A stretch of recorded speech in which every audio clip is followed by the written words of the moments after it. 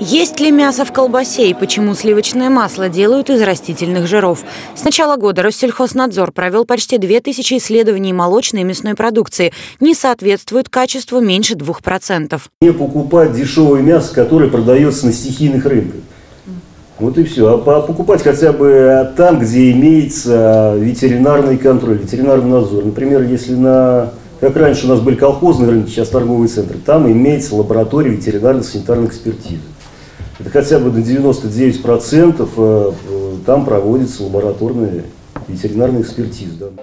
Многие производители товаров народного потребления идут не просто на хитрости, на обман. На этикетке пишут одно, а в упаковку кладут совершенно другое. Иногда доходит до абсурда. Потребитель у нас а, один а, открыл пачку халвы, да, укусил ее, сломал себе зубы, потому что внутри был инородный предмет. Но опять-таки вопрос до суда не дошел.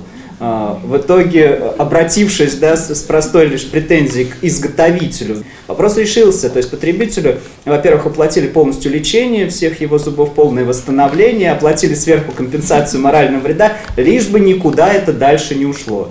Большинство обманутых потребителей, обнаружив, что молоко прокисло, а белый хлеб из серой муки, в суд идти не спешат. Довольствуются возвратом денег или заменой товара. Затраты на судебные тяжбы считают несопоставимыми цене товара. Хотя зачастую речь идет не только о потерянных деньгах и времени, но и о здоровье, которое не купишь. Марианна Мирная, Дмитрий Мешканцов. События.